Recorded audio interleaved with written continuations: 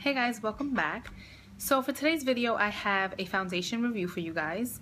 As the weather has changed, so has my skin, and now I am back to my regular oily self. So, of course, I've been looking for a new foundation to help control that oiliness. And I know that even though I buy primers or foundations to help with my oiliness, I'm still to be oily because it's just inevitable. However, I do like to buy things to help control that. So I was in Sephora and I'm walking around looking for a foundation and I remembered about um, Smashbox. I was recommended to try this foundation a while ago, but I never did because I wasn't familiar with it. So I just decided to go with a brand that I was more familiar with. Anyway, I decided to pick it up and this is what it looks like. And what made me buy this foundation was reading what they claim it does on the box while I was still in the store. So I'm just going to go ahead and read it to you guys just so you know why I picked it up because it was just like, yes, I found my foundation. Anyway, it says, stay flawless for a full 15 hours with our breakthrough long-wearing formula. Inspired by onset demands developed for your life, skin is hydrated and shine-free while imperfections are blurred with light diffusing spheres. I didn't really care about all that stuff. What I did care about was buildable medium to full coverage, water, sweat, humidity, and transfer resistant oil free.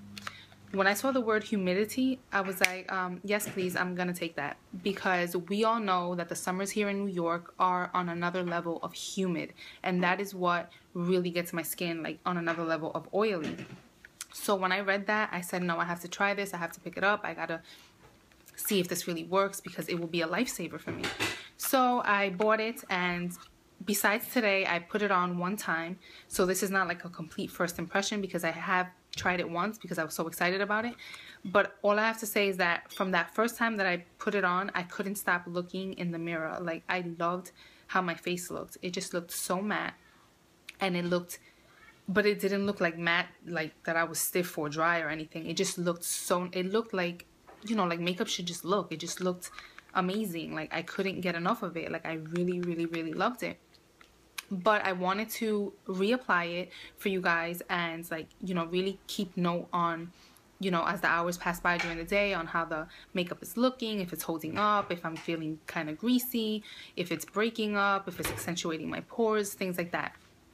So I wanted to show you guys me applying it initially and I applied it on one side of my face with a beauty blender and then I'm going to also apply it on the other side of my face with a brush just so you guys can see and so I can see if there's a difference between what works best if the coverage is better using the blender or using a brush etc and I also wanted to you guys to see you know how it just evens out my skin while I'm applying it without anything else on top of the foundation just the foundation itself. Um, I, I applied this foundation at 9 o'clock in the mornings and now I've had it on for about four and a half hours. You know, I have it on right now.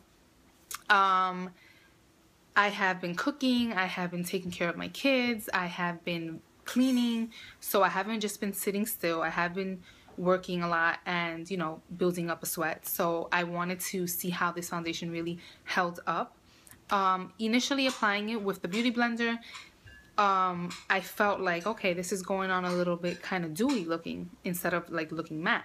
Um, but then it sets really quickly. Like when I touch my face after and even touching it now, like after having this on for over four hours, my face doesn't feel sticky. It doesn't feel oily. doesn't feel anything. It just feels like my skin. Like I don't feel like I have any type of makeup on. And um, my face doesn't feel heavy at, at all. And my true test when I have foundation on is like I like to pat here on my nose and if I look at my hands and they usually I, I go like this and I'll look at my finger and it'll look wet like I just dipped my my hands in like olive oil or something because that's how oily I, I get. So I always like to test it out by tapping my nose area and definitely my chin and my forehead. Those are the areas where I get excuse me greasy. Um, but right now I haven't blotted. I didn't even set my foundation with powder and I am not greasy at all like at all anywhere that you might see a like a glisten that's just my highlight that's not oiliness like let me get closer my face is not greasy the slightest bit like it's unbelievable how amazing this foundation really is. And the day that I actually wore it the first time, it was really humid. Today is not really humid at all. But still, since I've been so active, you know, I'm working and I'm producing oil, so a, a foundation could get oily on you.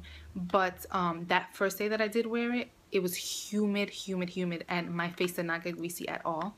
So anyway, going back to the application process, um, I loved how the foundation looked um, applying it with the beauty blender and I also loved it with the brush.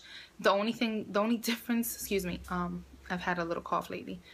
The only difference is that I feel like if I wanted more coverage, I would go more with the brush because since it's so dense, it definitely like packs on foundation more.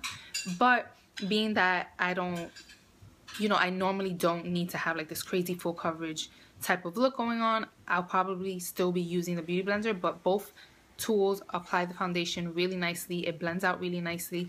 The Let me take this out of the packaging. This is what it looks like anyway, out of the packaging. I love that it has a, a pump, of course, because it's, you know, sanitary and way more easy to use and you don't have to waste so much product but this foundation um it's not runny at all it's not super thick like it does move it's not like a mousse um, or anything. Let me just dab a pump here. You see? It's just, you know, just like any normal foundation. It's definitely nice and blendable. It goes on so smoothly. Um, from what I know, in terms of like the colors, they, I guess they're a little bit more on like the yellowish undertone kind of thing. So I have read that people with like really pale skin might have a little bit of difficulty finding a match, but you know, you can always mix it with something else maybe to get your like perfect match or you know, maybe you do find something for you if you're more on the pale side. But if you're more on the side of yellow tones or olive undertones, you should be able to find a perfect match for you. This is a perfect match for me. I am in the color 3.2. Um, it's just awesome, guys. I really, really give this a thumbs up. Um, so far, it has held up to what the box says. It does um, definitely decrease oiliness under humidity.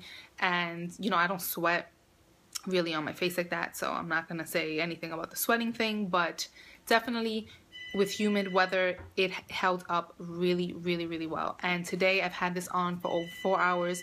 And like I said, I haven't blotted. I, I didn't set my foundation with any powder. And this is what it looks like after all the things that I've been doing.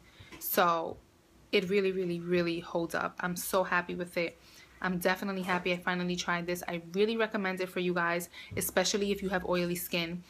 Um, another thing is that this holds up so amazing just on its own. Like I don't have a mattifying primer under this. I have just a regular like pore minimizing primer. So I can just imagine even how more amazing this is going to look when I use a mattifying primer under it. So that's something else to take into consideration. If you have normal skin and you use this, you're going to be good to go because you don't have to worry about eh, really you don't have to worry about any oiliness. Um, and if you have dry skin, I think this is really good too because like I said, it blends really well. And oh, another thing I wanted to mention is I like to notice on my forehead like how a foundation blends because usually I don't know why, but on my forehead, I feel like my foundations don't like soak in like smooth and like flawlessly. I feel like all over my face everything looks fine, but then on my forehead when I really look close into a mirror, I um I tend to have not patches, not dry patches, but I don't know, I just feel like it doesn't soak in properly. And with this foundation on both sides, having used the brush or the blender, I looked it at really close up into my forehead and it looked so good. Like it looked really flawless and I'm just so happy about that. I'm just really, really happy with everything with this foundation. I like the consistency of it. I like my, my color match to it. I like how it holds up. I like the fact that I don't have to set it and I'm one that always sets my, my liquid foundations with powders. So I'm just overall really happy. Definitely recommend this. If you guys are looking for a foundation to help you stay matte, definitely um, get a sample from Sephora and try this out because so far for me, it's working wonders. So I give it a big thumbs up, guys. So yeah, these are my thoughts on this foundation, guys. I hope it helped you out if you're on the market for a new foundation. And if I have any other thoughts on it, I will let you know in another video.